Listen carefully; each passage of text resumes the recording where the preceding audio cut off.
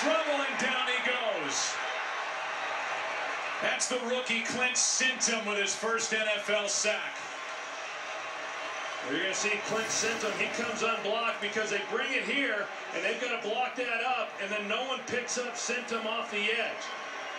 And I'm not sure if Romo was expecting that to be blocked up or not. If you see Jason Witten, who was in there at the tight end position, but it was clear that Romo either thought that it was going to be blocked